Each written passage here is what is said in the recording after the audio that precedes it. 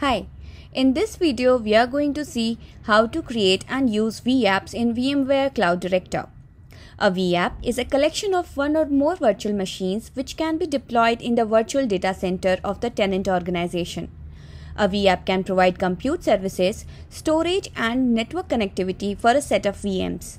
To create a vApp, log into your organization as a user with rights to create a vApp. Select the data center in which you want to create your vApp.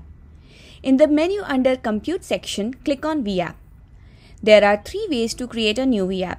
You can create it from scratch, create a vApp from OVF or OVA file, or create it from a template. Let's create a vApp from OVF file. Click on New and select Add vApp from OVF file. Browse the file from your local system and upload. Review the details and then accept licenses.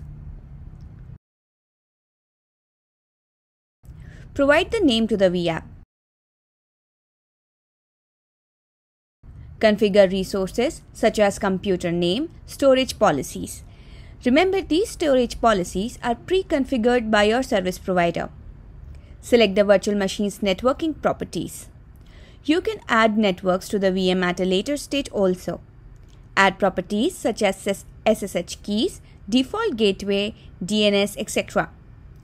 These configurations are not mandatory.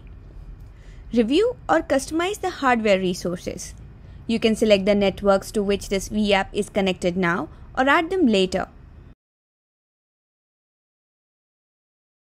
Review the configuration and click Finish. Let's create a vApp from scratch. Select New vApp and provide name of the vApp. You can add a virtual machine now or later. Add the VM name. You can create a VM from the template or add a new VM.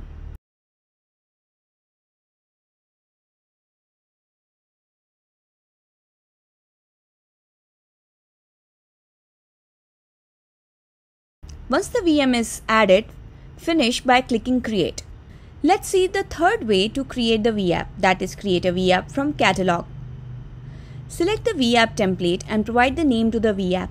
You can configure the runtime and storage leases.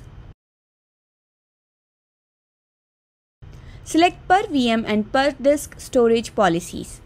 Configure compute policies per VM. Review or customize hard disk for each VM in the vApp.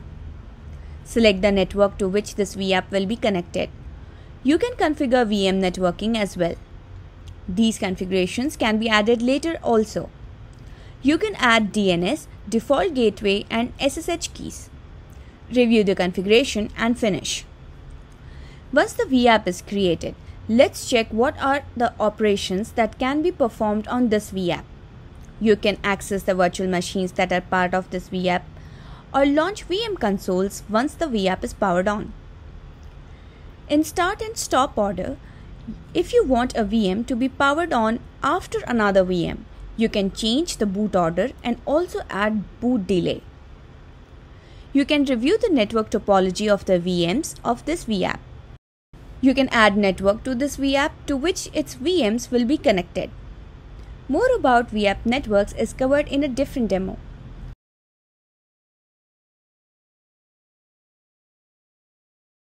You can share this vApp with other users with appropriate rights. You can add metadata for this vApp. You can monitor tasks and events. Let's see what other managing operations are available. You can power on, power off, reset or suspend the vApp. You can renew the lease of the vApp, create a snapshot and download it. You can move or copy this vApp to a different VDC. You can change the ownership of the vApp and share it with other users in the organization. You can add a VM or a network to this vApp. You can create a template for, from this vApp. You can also edit the badges and delete a vApp.